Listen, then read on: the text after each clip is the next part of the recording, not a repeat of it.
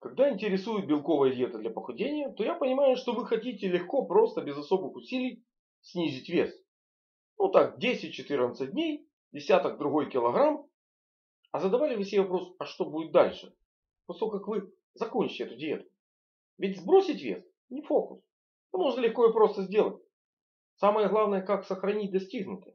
Это значительно тяжелее, чем выдержать любую, даже относительно продолжительную диету. Ведь когда есть избыточный вес, вы понимаете, что есть нарушение обмена веществ, при котором ваш организм, мягко выражаясь, тормозит.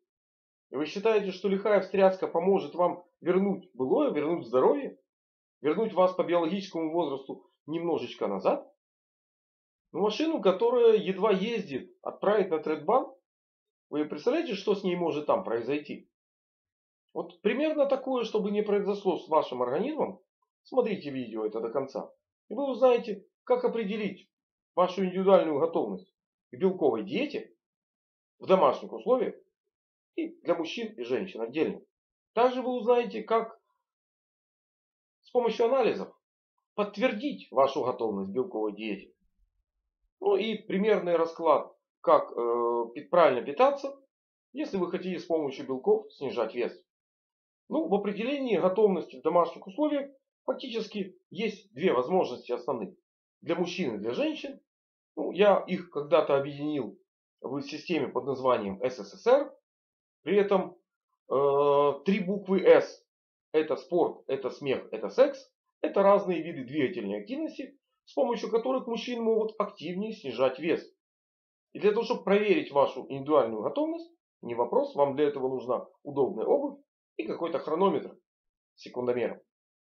Идете на стадион и пытаетесь выполнить тест Купера. Это его по-другому называют полутора мили или 12-минутный тест. То есть что от вас требуется? Просто пойти на стадион и попытаться за 12 минут пробежать полторы мили или 2,4 километра. Если у вас все получилось, физически вы хорошо готовы, ваше сердце, сосуды готовы выдерживать физические нагрузки, вы можете использовать физические нагрузки в снижении вашего веса. Да, это больше мужской тест, потому что мужчина может правильными нагрузками немножко подкачать мышечную ткань, которая 24 часа в сутки, имея более активный обмен веществ, будет сжигать ваши калории.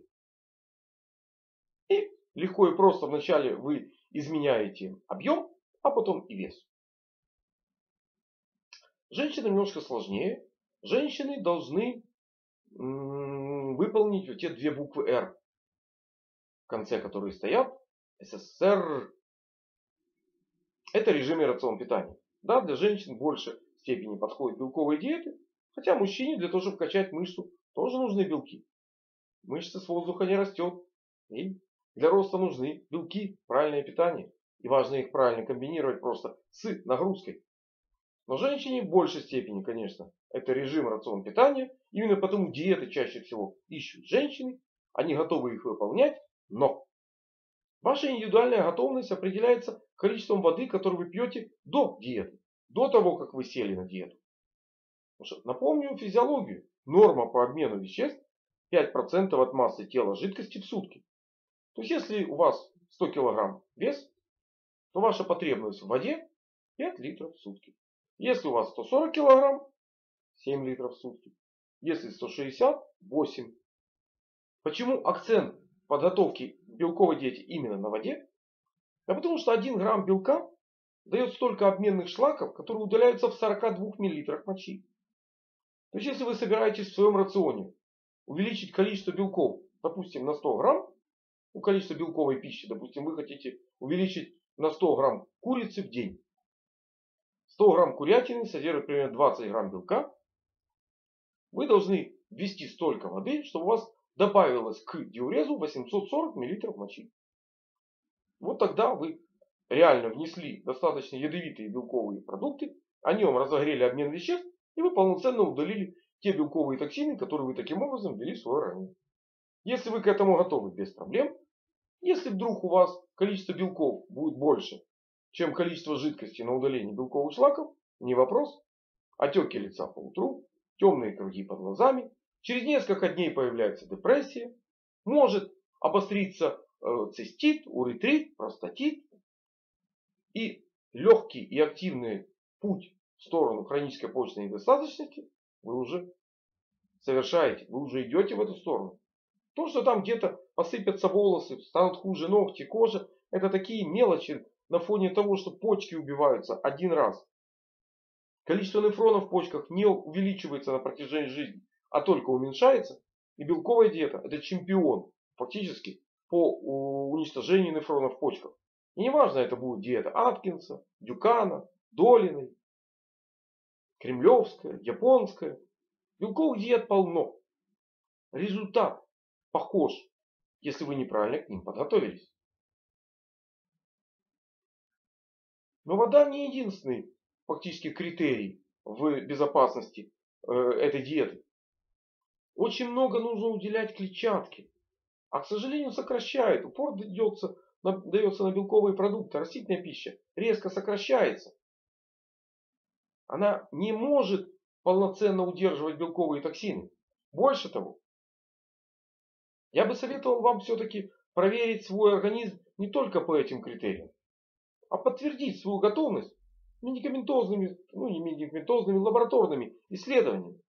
Самое простое это сделать капрограмму и посеять кал на дисбактериоз. То есть посмотреть в спокойном состоянии, что у вас реально происходит в кишечнике. Потому что когда набирается вес, употребляются в основном жирные углеводистые продукты в разных сочетаниях. Они перевариваются легко. Белки перевариваются долго. И как только вы вносите белки свой рацион, начинаете увеличивать. Ваша пищеварительная система должна быть к этому готова. Она должна их переварить. Если она их не переваривает, не успевает переварить в кишечнике, белковую пищу ждут и патогенные бактерии, и более крупные варианты в виде глистов паразитов. Вы когда последний раз удаляли паразитов? Вы когда последний раз смотрели, как переваривается ваша пища в кишечнике? Представляете, какой сюрприз вы можете организовать своему организму, когда просто взяли и внезапно изменили рацион питания? Бактериям, конечно, будет хорошо. Паразитам тоже, вам каково. Вы же не этот результат хотите получить. Вы же хотите получить плюс по здоровью. А не накормить бактерий, получить кучу белковых токсинов. И тут уже никакой воды вам не хватит. На то, чтобы провести эти белковые токсины мимо почек, не повредив их. Поэтому я бы советовал сделать такой анализ, это же свежести своему организму. Так же, как и проверить печень. Потому что следующий этап фактически движения э, белковой пищи – это печень. Когда пища переварилась в кишечнике, она расщепилась на простейшие компоненты, а для белков, напомню, существует в организме три этапа. Расщепляет пепсин желудочного сока, трипсин поджелудочный и химотрипсин тонкого кишечника. Только после этого аминокислоты попадают в кровь. И здоровая печень должна их ресинтезировать, то есть собрать из них белки, свойственные вашему организму. Это в случае, если печень здорова. Если же вы знаете свой уровень билирубина, уровень трансаминаз, щелочной фосфатазы, то вперед с песнями. Если вы это не знаете, вопрос, на какие грабли вы можете наступить неожиданно. Я частенько даю людям даже без внешних признаков заболеваний наводку сделать эти анализы, вы знаете, сколько сюрпризов у людей внешне как бы здоровых? Я молчу про избыточный вес. Также я советовал бы вам сделать липидограмму. То есть проверить общий холестерин его фракции. То есть исходный уровень холестерина, который присутствует в вашем организме. Когда будет растворяться жировая ткань, холестерин полезет за пределы экрана. А находясь в кровеносном русле, он очень любит откладываться в стенках сосудов, вызывать атеросклероз. Такие варианты очень нередки, увы. Также я советовал бы вам провести анализ крови на сахар с нагрузкой глюкозы. То есть вы берете исходно сахар крови натощак, потом вам дают в зависимости от веса выпить сладенькую водичку и делают еще три анализа. Очень интересно посмотреть на эту сахарную кривую, какая она и насколько вы близки к сахарному диабету второго типа, который очень не бережет сосуды сам по себе. Так, также я бы советовал вам сделать уровень мочевой кислоты. уровень креатинина. Мочевину посмотреть. То есть эти показатели показывают, в какой степени ваши почки готовы на сегодняшний момент к обеспечению обмена веществ и удалению достаточно токсичных белковых токси... Э, шлаков обмена веществ. Не говоря уже о том, когда вы их немножко подгрузите белками в рационе. Эти анализы я бы советовал делать как мужчинам, так и женщинам. Мужчины, они, да, э, в большей степени, опять-таки, готовы к выполнению физических нагрузок, не вопрос. Тест Купера это один из вариантов.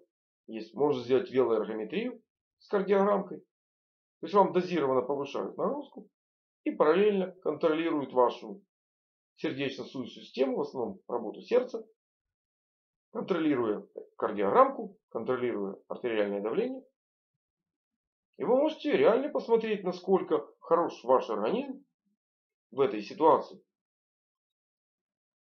И после этого вы сможете принять правильное решение, что вам делать, каким путем вам снижать избыточный вес, каким образом бороться с лишними килограммами, потому что я вас прекрасно понимаю, это нагрузка и на суставы, это и нагрузка на сердце, на сосуды, это очень жесткая нагрузка на обмен веществ, которая, увы, не увеличивает продолжительность жизни. Но когда вы будете иметь уже эти показатели, безусловно, можно изменить систему питания. Самый простой вариант, вы даже можете ко мне не обращаться за консультацией. Есть консультация врача-диетолога онлайн на моем канале. Не вопрос. Подписчикам проще ее найти. Не подписчики тоже в принципе могут найти. Достаточно легко находится это видео. И просмотрите основы правильного питания, в котором есть место и белковой нагрузки, есть место и углеводам, и жирам, и другим компонентам, и воде. Кстати, по воде тоже достаточно много видео. Что если вы захотите все-таки пройти белковую диету самостоятельно, и перед этим начнете увеличивать количество воды в своем рационе, посмотрите несколько видео на тему, как правильно пить воду в разных ситуациях, до еды, во время еды, после еды, есть на моем канале. Они доступны, вы можете их легко посмотреть. Чтобы правильно увеличивать свой рацион в отношении воды, чтобы не перегрузить ни пищеварительную систему, ни почки, ни сердце, чтобы не навредить, чтобы польза была от белковых диет, от снижения веса, а не негатив.